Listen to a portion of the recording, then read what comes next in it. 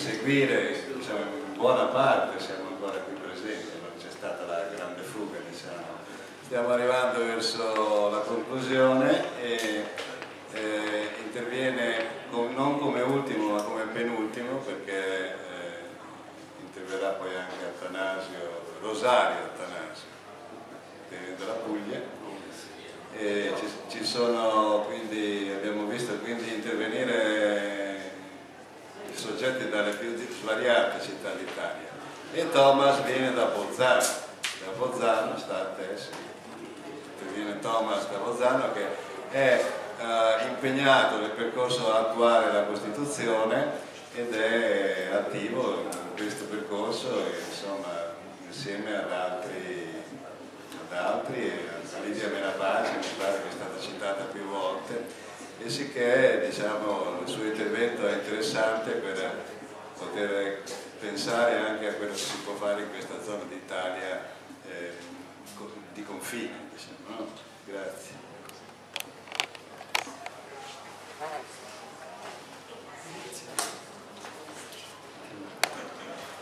Buonasera, grazie Paolo appunto mi chiamo Thomas Gaglietti, abito a Bolzano, mi sono trasferito a Bolzano sei anni fa dal Piemonte, dalla provincia di Novara, quindi quasi vicino a Matteo e ho ben presente le Valli dell'Ossola non solo per come le descritte ma anche per i racconti che ho la fortuna eh, di, di, di poter ascoltare da Lidia, una pace eh, che abita anche lei a Bolzano dal 52 e anche lei si è trasferita da, da, da Novara. Eh, devo dire che mm, non è che abbia eh, un intervento da fare in particolare perché mi associo a tutti gli interventi che sono stati fatti oggi. Ehm, e come diceva prima Paolo magari posso portare l'esperienza che stiamo vivendo a Bolzano in un territorio di confine in un territorio che ehm,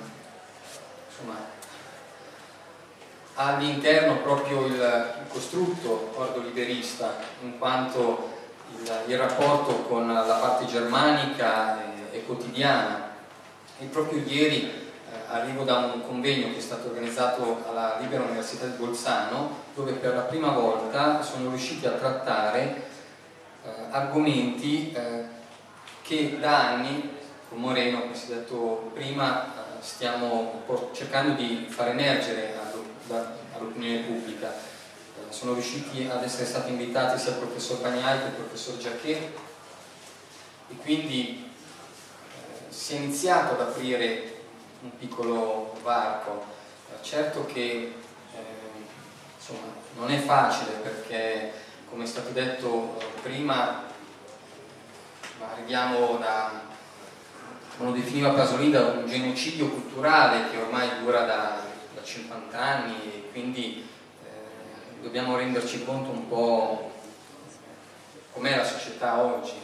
Quindi quello che posso dire magari eh, riprendendo l'esperienza del Comitato di Bolzano che è stato il primo che si è eh, messo insieme lo scorso 4 dicembre del 2017 proprio ad un anno di distanza dal referendum costituzionale e che ehm, esercitare la parte di sovranità popolare che ci appartiene secondo Costituzione non è così scontato perché vuol dire lo stiamo vivendo ormai da un anno all'interno del comitato di Bolzano perché ci sono stati un po' i lavori preparatori ehm, vuol dire mettere in discussione eh, noi stessi noi stessi. Si è parlato prima dell'importanza del linguaggio. Ecco come ci insegna Lidia il linguaggio inclusivo eh, l'Italia ripudia la guerra eh, recita l'articolo 11 ecco nel nostro atto costitutivo parafrasando l'articolo 11 abbiamo scritto noi ripudiamo il linguaggio bellico e militare ogni tipo di violenza di prevaricazione non solo fisica. Questo per cercare di entrare in sintonia con la Costituzione della Repubblica Italiana. E se posso dire magari l'ultima cosa, eh, peccato che è andato via il professor Rinaldi perché eh, riguardava specialmente lui, dato che per fortuna comunque eh, ha un po' portato l'atteggiamento eh, di questi anni di lotta, eh, facendo venire a galla un po' ehm, quello che ci riguarda appunto, cioè la sovranità popolare. Purtroppo è stato etichettato con un termine che non ci aiuta, ossia sovranismo o fronte sovranista. E quindi ripeto, quando mi hanno chiesto una volta, ma, lei è sovranista? Un tono anche un po' dispregiativo, eh, ho risposto no, non sono sovranista, cerco di eh, esercitare eh, la mia parte di sovranità popolare che la Costituzione mi attribuisce. Ecco, forse magari nel cercare di coinvolgere le persone fuori da qui